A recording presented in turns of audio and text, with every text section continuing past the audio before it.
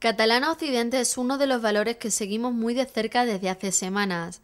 Ofrece unas muy buenas perspectivas técnicas después de que a comienzos de año viéramos cómo conseguía perforar la resistencia de los 26 euros.